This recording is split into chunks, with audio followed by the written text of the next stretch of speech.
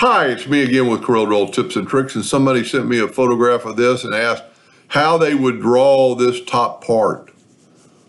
Uh, there's several ways to make the object, but we're just going to take a, let's take the three-point curve line and let's go from the middle down to that edge and then just kind of curve it. It's not going to be perfect, but we can always take the shape tool and bring that in and bring this up. And I'm not, for the video, I'm going to probably call that good enough because you can always tweak it more later or when you're doing it to get it kind of perfect. So now we're just going to take our picture out of the way. We have that basic shape. We're going to go ahead and normally I go to the center of the page, but don't really have to on this. I'm going to control D and make a duplicate of this guy. And then while holding down the control button, so these two objects are not touching. They're not one piece so they will blend. We're going to go to object blend. First of all, we're going to change them to a thicker line. Let's go, let's make them black. And that might be a little bit too thick. There we go. And I just, I think this is going to work. So then just take the two objects, go up to effects and blend, and I'm just going to blend, let's blend uh, 18 times. Not quite enough, maybe up top.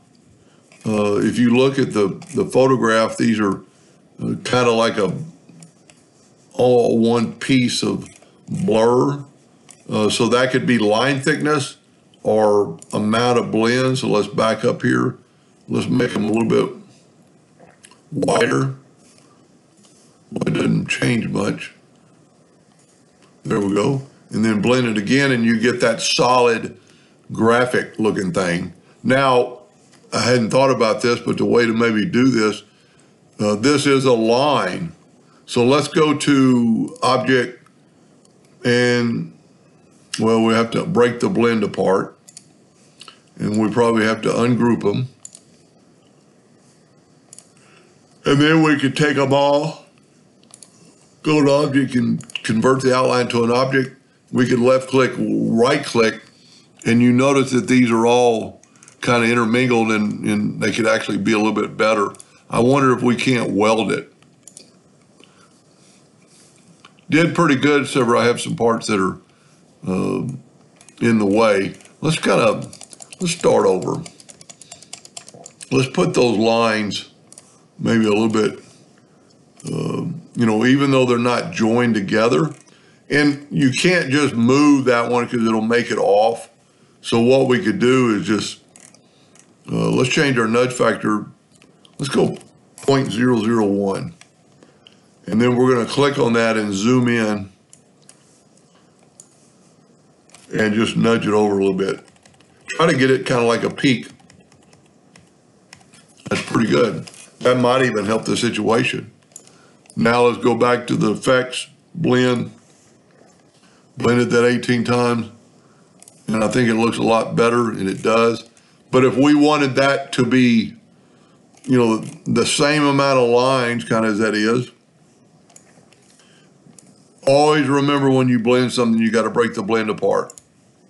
And I always take them and then ungroup them. And then go to object, convert the outline to an object and we can left click, right click. I'm not even saying this is really necessary, but see all these lines that are up there? Let's try, now let's try welding them. And this might work because each one of these is a, a uh, separate line down at the bottom. We'll go ahead and make them black. I don't really think it changed anything. Uh, you know, if you need more, just thicker lines or, or more blends. But that's a pretty, pretty similar to what whoever drew this uh, in this fashion. Um, let's kind of look at it with a blue background. We'll actually use that black background. So I'm going to get the eyedropper tool, kind of get a blue from there go up to object, order back a page, and then let's turn this white. So that's pretty, pretty close to it. You could actually use thicker lines being at white now. And then you could just do whatever you want to uh, with the other part. The longer parts to me look like they would actually be easier. Uh, just, you know, draw a box with a Uh, peak on top and, and, and blend them together.